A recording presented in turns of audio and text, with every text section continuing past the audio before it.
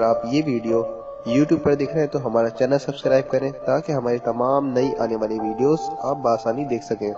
شکریہ۔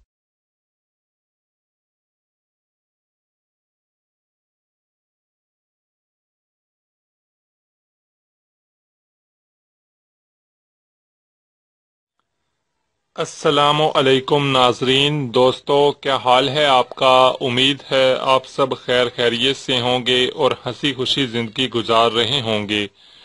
فرینڈز، آپ اگر ہیئر سٹریٹننگ چاہتے ہیں، اگر آپ اپنے کرلی ہیئر کو سٹریٹ کرنا چاہتے ہیں، اگر آپ چاہتے ہیں کہ آپ کے بال اگر گھنگریالے ہیں اور آپ چاہتے ہیں بال آپ کے سیدھے ہو جائیں، تو اس کے لیے ہم آپ کو ایک بہترین ریمڈی بتائیں گے۔ اس ریمڈی کے استعمال سے آپ کے بال بالکل سیدھے ہو جائیں گے۔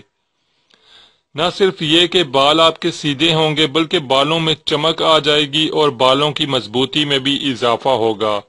دوستو، یہ ریمڈی انتہائی آسان ہے اور آپ کا، آپ نے بس اس کا استعمال جاری رکھنا ہے۔ آپ اگر آپ اس کا استعمال کچھ عرصہ جاری رکھیں گے تو. آپ کو جو نتائج ملیں گے وہ آپ دیکھ کر حیران رہ جائیں گے۔ بالوں میں مضبوطی آئے گی بالوں کی جو کمزوری ہے وہ جاتی رہے گی اور بال جو ہیں وہ لمبے ہوں گے بال گھنے ہوں گے بال مضبوط ہوں گے اور بالوں کا گرنا جو ہے وہ بھی بند ہو جائے گا۔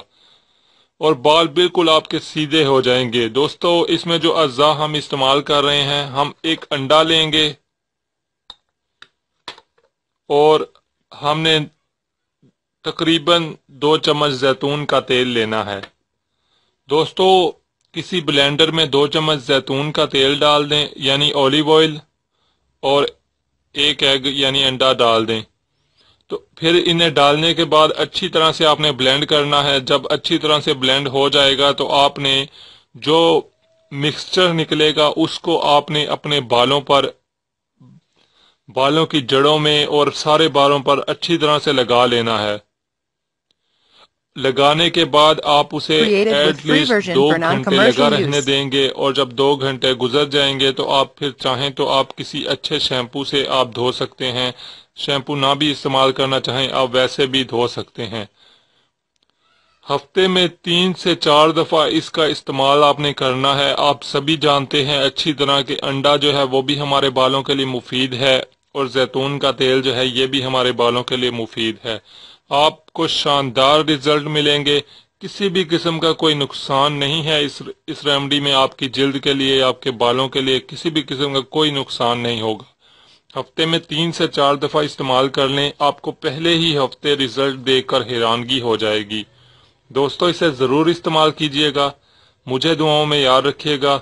میں اجازت چاہتا ہوں۔ جزاک اللہ خدا حافظ۔ Created with free version for non-commercial use. آپ نے ابھی تک ہمارا چینل سبسکرائب نہیں کیا تو اسے سبسکرائب کر لیجیے اور بیل کے آئیکن کو پریس کیجیے تاکہ ہر آنے والی نئی ویڈیو کا نوٹیفیکیشن آپ کو مل سکے۔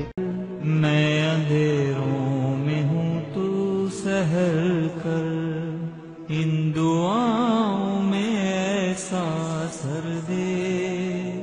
رب کعبہ مجھے معاف کر دے۔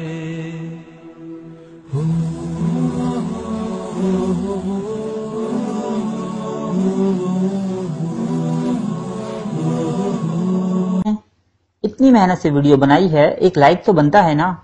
اور دوسرا یہ کہ آپ ہمیں اتنی بڑی دنیا میں دوبارہ کیسے ڈھونڈیں گے؟ تو اس کا حل یہ ہے کہ آپ ہمارے چینل کو سبسکرائب کر لیجیے اور اس بیل کے آئیکن کو کلک کر دیجیے۔ اس طرح ہمارے آنے والی تمام ویڈیوز آپ تک پہنچ